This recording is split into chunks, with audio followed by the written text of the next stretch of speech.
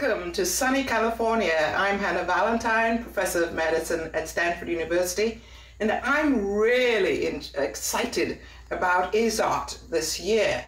And here's why. You will be able to hear the most cutting edge of transplantation science.